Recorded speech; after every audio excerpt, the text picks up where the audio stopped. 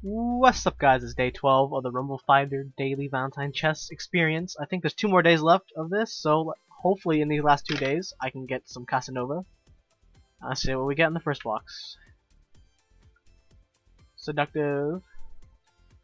Another chest.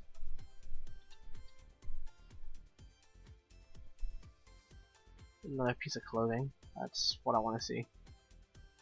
Blue heart pants, I already have that. Oh no. Cupid shirt. I don't care. Just is this ever gonna pop up? This is getting ridiculous. Heart Valentine title and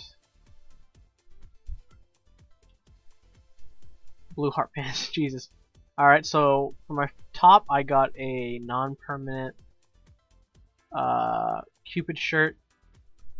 For my pants, I got two permanent blue heart pants. And for my mouth, I got a permanent mouth. For the title, another one day title. So, screwed again. Yes.